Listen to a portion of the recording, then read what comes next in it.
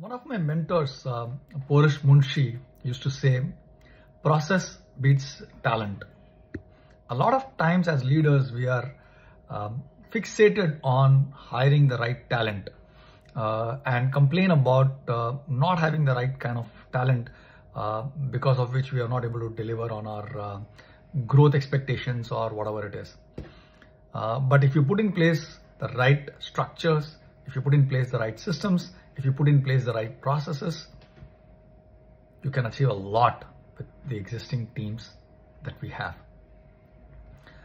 So lack of uh, uh, good talent uh, is a cop out that um, a lot of times we use as leaders. So look at whom we have in our team and let's make the best use of them. Let's get them to live up to their potential and deliver excellent results. Take care.